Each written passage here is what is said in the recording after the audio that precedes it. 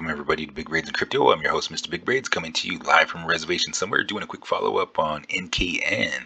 Uh, definitely looking at it.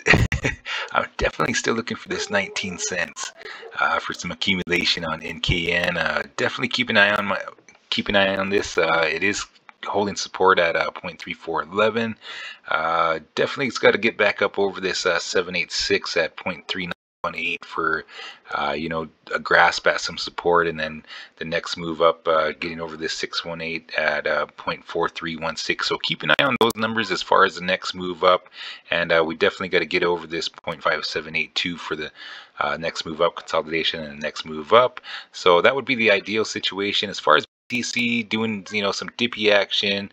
Uh, it is you know basically getting set up. It looks like we're gonna have some dippy action. Uh, 19 is on the table. I'm sure there's some micro fibs in there uh, as far as uh, some support. But uh, we'll just keep an eye on that. We'll do an uh, updated video tomorrow and see where NKN is. so definitely I'm definitely looking for this 19 cents. I know nobody likes to hear that, but uh, it's a possibility. It is on the table. Uh, so keep an eye on it. Uh, for everybody in NKN, good luck. Uh, you always got to remember this is not financial advice. These are my views and opinions on the market only.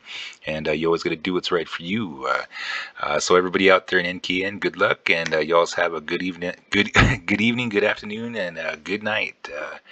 Mr. Big Braid signing out.